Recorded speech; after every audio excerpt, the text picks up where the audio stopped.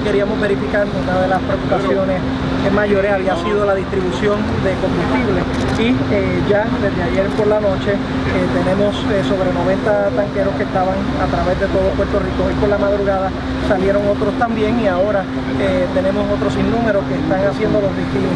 Estamos identificando esa serie de, tanqueros y como es una prioridad, habíamos hemos establecido un task force, secretario de Estado va a estar liderando ese task force, por eso es que está aquí, él va a dar un poquito el briefing de lo que está ocurriendo.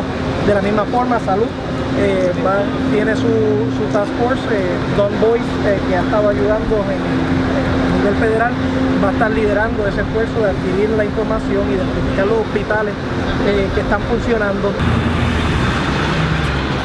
Hemos abierto gasolineras, ustedes son testigos de eso, a través de toda la isla de Puerto Rico se ha podido abrir gasolineras y en ese proceso seguimos.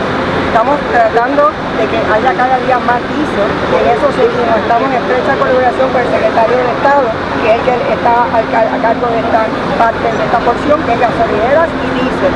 Vamos a seguir trabajando en esto, ayudando al gobierno y a Puerto Rico.